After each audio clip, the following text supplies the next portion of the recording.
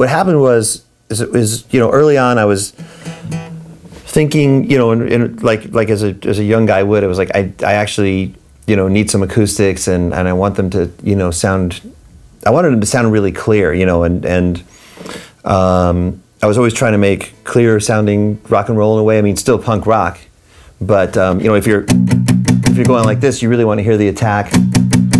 And um, the uh, I didn't even know what Taylor was, and, the, and I was at A and M Studios, and a guy had like seven or eight of them. He was actually a, a, a rep for, for Taylor. Bob Borbonis was his name, and and he said, "Well, hey, why don't you try one of these?" And um, and I picked up the guitar. We brought it in. We put it on mic, and it sounded ex exactly what I was looking for.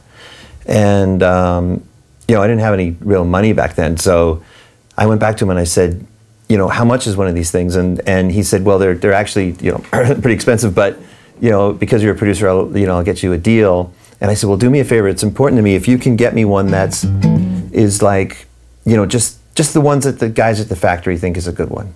You know, I'll just trust you.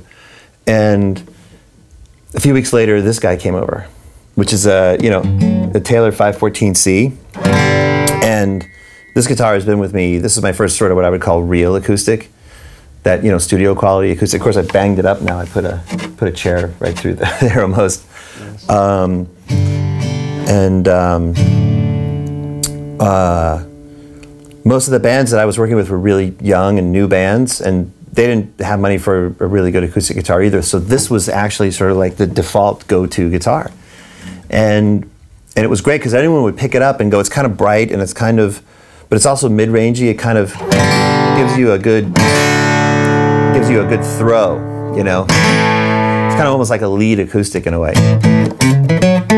So um, anyone who played it like pretty much liked it a lot. And and it was different because it's different than a Gibson and it's, you know, it's, it has different characteristics than a Martin.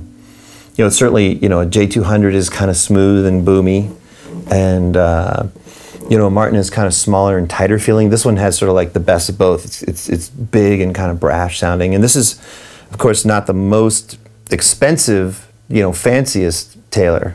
I do have some of those too, which is fantastic. I really, you know, I mean, I'm lucky to have the honor of, you know, I mean, I produced a record and they, Taylor actually made a guitar called the Grux after the Dave Matthews Band, you know, GrooGrux King album.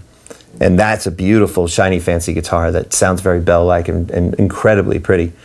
Uh, but this one is like the is like the the sort of famous one.